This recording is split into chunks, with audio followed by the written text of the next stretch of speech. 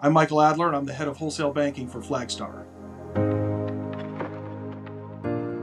As the head of wholesale banking for Flagstar, I'm responsible for all of our commercial banking, our non mortgage commercial real estate uh, banking businesses, and our capital markets products and treasury management teams.